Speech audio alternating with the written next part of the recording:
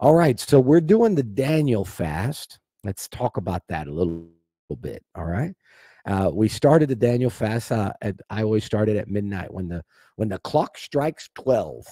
that's when I start the Daniel fast. There's some that don't start it at twelve at, uh, on January the first, and I understand because they have their festivities still going on and celebrations and so forth. Uh, I like to turn it on right at one o'clock, but I I'm right at twelve o'clock. I don't. Uh, I don't. I, I don't wait. I like it. I, I think because it's easier for me to count the days. I'm gonna do this for 21 days. So when 20 21st of January rolls around, it's pretty easy for me to remember that's my last day of the fast. So the first three days are the toughest, and it landed on Wednesday. And I talked with everybody in the congregation at the church. Had a great turnout on Wednesday. God bless everybody who came out. And uh, I talked to them about the power of the fast and the importance of the fast. Called the fast the fast that pleases God. And uh, we had such a great time. And, um, but it, the th- three days are the toughest. So, those of you that this might be your third or your fourth day, hang in there. Three days are the toughest first, second, and third, sometimes bleeding into the fourth. Fifth day, you're strong.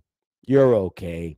You're already beginning to think, you know what? I can kind of live like this every once in a while. You know, have a tamal or, or, uh, you know, a fajita or something like that. But you can you can live like this. You're beginning to feel it.